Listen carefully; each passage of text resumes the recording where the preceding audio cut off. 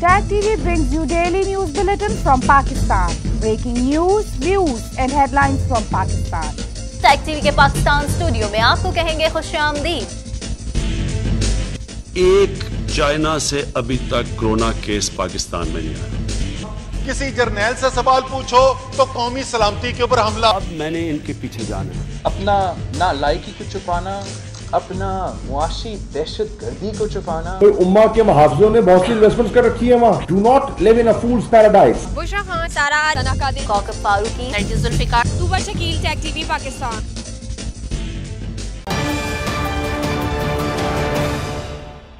अस्सलाम वालेकुम नाजरीन। टैग टीवी के पाकिस्तान स्टूडियो के साथ मैं हूँ रुखसार शहजाद। सबसे पहले शामिल करते हैं न्यूज़ हेडलाइंस कोरोना वायरस की तीसरी खतरनाक लहर ने मजीद एक सौ इकतीस जाने ले ली। गुजशत चौबीस घंटों के दौरान मजीद पाँच हज़ार से जायद मरीज़ सामने आ गए। कुछ लोग अपनी ज़ात को फ़ायदा पहुँचाने के लिए इकतदार में आते हैं। वज़ी अजम इमरान खान कहते हैं, मुझसे बड़े गलत फैसले भी हो जाते हैं। यकम मई से पेट्रोलियम मसनूआत दस रुपये चौंसठ पैसे फ़ी लीटर तक महँगी होने का इम्कान ओगरा ने समरी अरसाल कर दी। नई कीमतों का इतलाक फौरी नाफिजुल अमल होगा। गैर हतमी गैर सरकारी नतज के मुताबिक एन ए दो सौ उनचास जमनी इलेक्शन में पीपल्स पार्टी ने मैदान मार लिया। कादिर खान मंदोखेल सोलह हज़ार एक सौ छप्पन वोट लेकर कामयाब करार पाए। हंगरी के वज़ीर खारजा का दौरा पाकिस्तान, कराची में हंगरी का कौंसल खाना खोलने का ऐलान। दोनों मुल्कों ने तिजारती रवाबित बढ़ाने पर भी इतफाक किया। ग्रीनिश हैंड सैनिटाइजर ना ऑयली ना स्टिकी ना बदबू और मुकम्मल अब्जॉर्प्शन और हाथ नरम, मुलायम और साफ़। आज ही अपनी करीबी फार्मेसी से खरीदें या हमारी वेबसाइट पर ऑर्डर करें। www.greenish.com कोरोना वायरस से 131 अफराद जाम बहक हो गए, जिसके बाद अमवात की तादाद सत्रह हज़ार आठ सौ ग्यारह हो गई। पाकिस्तान में कोरोना के तस्दीक शुदा केसेस की तादाद आठ लाख बीस हज़ार आठ सौ तेईस हो गई। मजीद जानते हैं इस रिपोर्ट में। National command and operation centre के ताज़ा तरीन आदाद शुमार के मुताबिक गुजशत चौबीस घंटों के दौरान पाँच हज़ार एक सौ बारह नए केसेस रिपोर्ट हुए। पंजाब में तीन लाख एक हज़ार एक सौ चौदह, सिंध में दो लाख बयासी हज़ार चार सौ पैंतालीस, खैबर पख्तूनख्वा में एक लाख सत्रह हज़ार पाँच सौ सत्तावन, बलूचिस्तान में बाईस हज़ार दो सौ अठहत्तर, गिलगित बल्तिस्तान में पाँच हज़ार तीन सौ पाँच, इस्लामाबाद में पिछहत्तर हज़ार सड़सठ, जबकि आज़ाद कश्मीर में सत्रह हज़ार सत्तावन केसेस रिपोर्ट हुए। मुल्क भर में अब तक एक करोड़ सत्रह लाख अट्ठासी हज़ार एक सौ सत्ताईस अफराद के टेस्ट किए गए। गुजशत चौबीस घंटों के दौरान उनचास हज़ार निन्यानवे नए टेस्ट किए गए। अब तक सात लाख ग्यारह हज़ार चार सौ पैंसठ मरीज़ सेहतियाब हो चुके हैं, जबकि पाँच हज़ार तीन सौ साठ मरीजों की हालत तशवीशनाक है। पाकिस्तान में कोरोना से एक दिन में एक सौ इकतीस अफराद जाबहक हुए, जिसके बाद वायरस से मरने वालों की तादाद सत्रह हज़ार आठ सौ ग्यारह हो गई। पंजाब में आठ हज़ार चार सौ दस, सिंध में चार हज़ार छः सौ तैंतीस, खैबर पख्तूनख्वा में तीन हज़ार दो सौ चौहत्तर, इस्लामाबाद में छः सौ उन्नासी, बलूचिस्तान में दो सौ चौंतीस, गिलगित बल्तिस्तान में एक सौ छः और आज़ाद कश्मीर में चार सौ पिछहत्तर मरीज़ जान से हाथ धो बैठे। वज़ीर अजम इमरान खान ने कहा है कि माजी में टिकट देने में कई गलतियाँ हुई, मुझसे बड़े गलत फैसले भी हो जाते हैं। मजीद जानते हैं इस रिपोर्ट में।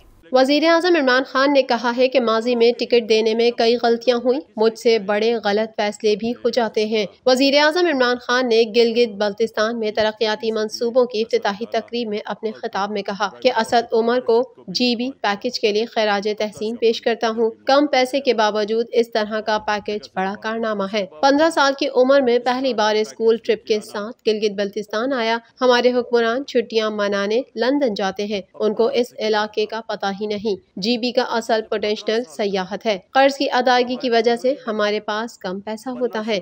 कि बाहर के लोगों की तो दूर की बात है, पाकिस्तान के लोगों को नहीं पता कि यह मुल्क कितना खूबसूरत है।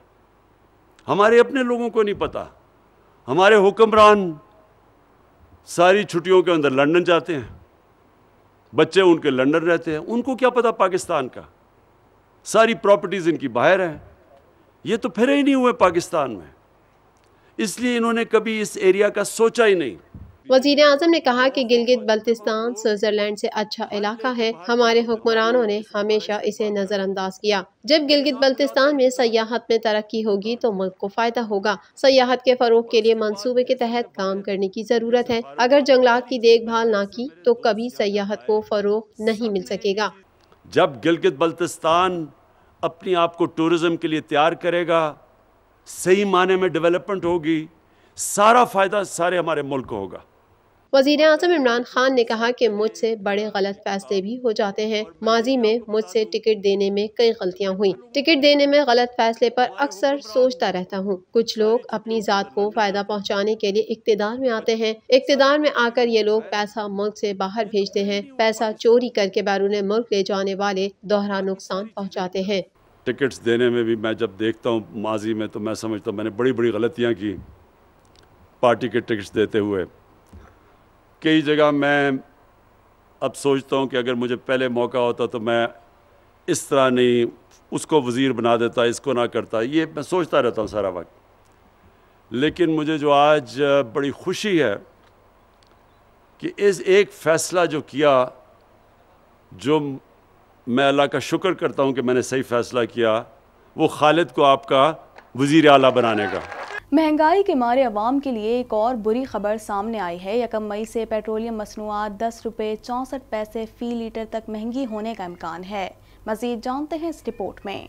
Oil and gas regulatory authority OGRA की जानब से पेट्रोलियम मसनूआत की कीमतों में इजाफे की समरी आठ साल कर दी गई है, जिसके बाद यकम मई से पेट्रोलियम मसनूआत दस रुपये चौंसठ पैसे फ़ी लीटर तक महँगी होने का इम्कान है। ओगरा की जानब से भिजवाई गई समरी मंजूर होने की सूरत में पेट्रोल की कीमत में पाँच रुपये पिछहत्तर पैसे, जबकि डीजल की कीमत में छह रुपये फ़ी लीटर तक इजाफा हो सकता है। मिट्टी का तेल पाँच रुपये उन्नीस पैसे, लाइट डीजल दस रुपये चौंसठ पैसे फ़ी लीटर महँगा होने का इम्कान है। मुजावजा कीमतों का तयन मौजूदा पेट्रोलियम लीवी की शरह पे किया गया है। पेट्रोल पर मौजूदा लीवी ग्यारह रुपए तेईस पैसे, जबकि डीजल पर पंद्रह रुपए उनतीस पैसे फ़ी लीटर है। हुकूमती फैसले से आवाम शदीद नाला है। वज़ीर आज़म की मंजूरी के बाद वजारत खजाना पेट्रोलियम मसनूआत की कीमतों का ऐलान करेगी। नई कीमतों का इतलाक फौरी तौर पर नाफजिल अमल होगा।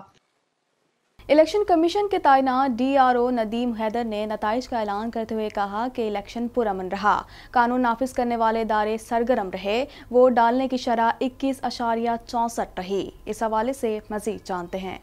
कराची से कौमी असम्बली के हल्का एन ए दो सौ उनचास, ज़मन इलेक्शन के दो सौ छिहत्तर पोलिंग स्टेशन का गैर हतमी गैर सरकारी नतीजा मौसू हो गया। एन ए दो सौ उनचास ज़मनी इलेक्शन में पीपल्स पार्टी ने मैदान मार लिया। पीपल्स पार्टी के कादिर खान, मंदोखेल, सोलह हज़ार एक सौ छप्पन वोट लेकर कामयाब करार पाए। नून लीग के मिफ्ता इस्माइल पंद्रह हज़ार चार सौ तिहत्तर वोट लेकर दूसरे नंबर पर रहे। नजीर अहमद ग्यारह हज़ार एक सौ पच्चीस वोट लेकर तीसरे। पाक सरजमीन पार्टी के मुस्तफ़ा कमाल नौ हज़ार दो सौ सत्ताईस वोट लेकर चौथे। पाकिस्तान तहरीक इंसाफ के उम्मीदवार आठ हज़ार नौ सौ बाईस वोट लेकर पाँचवें, जबकि एम क्यू एम के उम्मीदवार सात हज़ार पाँच सौ ग्यारह वोट लेकर छठे नंबर पर रहे। इलेक्शन कमीशन के तैनात D R O Nadeem Haider ने नतज का ऐलान कर दिया। उन्होंने कहा कि इलेक्शन पर अमन रहा, कानून नाफिज करने वाले इदारे सरगर्म रहे, वोट डालने की शरह इक्कीस अशारिया छह चार रही। कामयाबी हासिल करने वाली जमात के रहनुमा सईद खानी का कहना था कि पीपल्स पार्टी गिनती के दौरान मुस्लिम लीग नून से आगे रही। मुस्लिम लीग नून के नतज से कबल जीत का ऐलान करना हैरान कन है। उधर मुस्लिम लीग नून के रहनुमा शाहिद खाका नब्बासी ने नतज को मुतनाज़ करार दे दिया। उन्होंने कहा कि कम टर्न आउट होने के बावजूद नतज में तखिर होना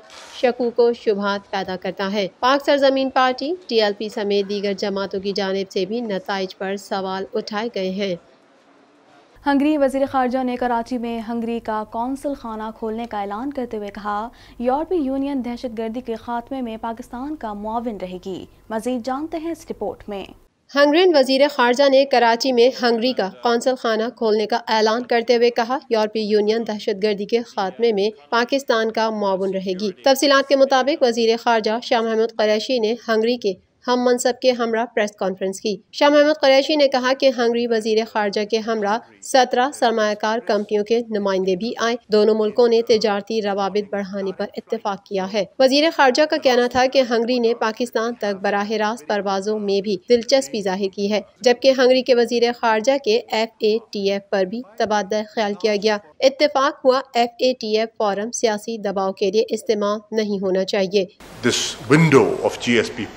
Has been really beneficial for Pakistan because, as you know, since its initiation, our exports into the European Union have doubled. So we really have benefited.